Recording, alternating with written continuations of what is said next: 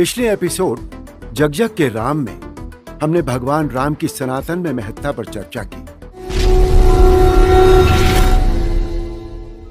आइए, आज राम की नगरी अयोध्या के महत्व की बात करते हैं।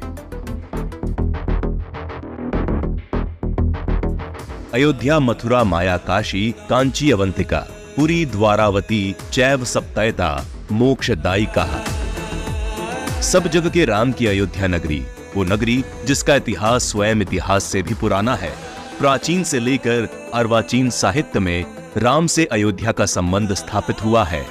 अथर्ववेद के अनुसार, अष्टचक्रा नवद्वारा वेदानाम पूर अयोध्या, अर्थात आठ चक्र और नौ द्वारों वाली अयोध्या देवताओं की नगरी बतलाई गई है।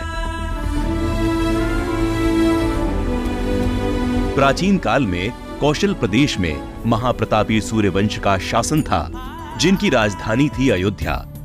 इस महान वंश में इक्ष्वाकु, दिलीप, भागीरथ और रघु जैसे महावीर राजाओं ने राज किया। इसी प्रतापी अयोध्या में त्रेता युग में महाराज दशरथ के घर जन्मे श्री राम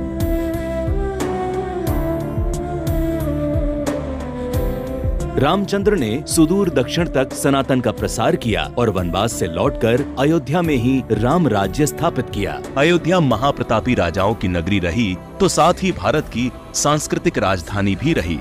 सदियों से अयोध्या भगवान राम से जुड़ी भारतीय जनमानस की आस्था का केंद्र बनी रही है। सदियों से चली आ रही चौरासी कोसी परिक्रमा अयोध्या से जुड़े जनमानस की श्रद्धा का ही प्रतीक है। पाँच सदी पहले जब विदेशी आक्रांताओं ने श्री राम जन्मभूमि का विध्वंस किया, तब अयोध्या का वनवास शुरू हुआ। ऐसा वनवास जिसमें इस नगरी ने अपने आराध्य श्री राम को टेंट के नीचे देखा। वर्षों तक अयोध्या इस प्रतीक्षा में रही कि कब उसके साथ न्याय होगा। जन्मभूमि पर बन रहा भव्य मंदिर अयोध्या के इस वनवास की समाप्ति का ही प्रमाण है। और इस बात को सिद्ध करता है कि अयोध्या वही नगरी है, जिसे युद्ध में जीता नहीं जा सकता। अगले एपिसोड में हम आपको बताएँगे कि अयोध्या में ही राम मंदिर का निर्माण होना क्यों ज़रूरी था। तब तक के लिए जय श्री राम।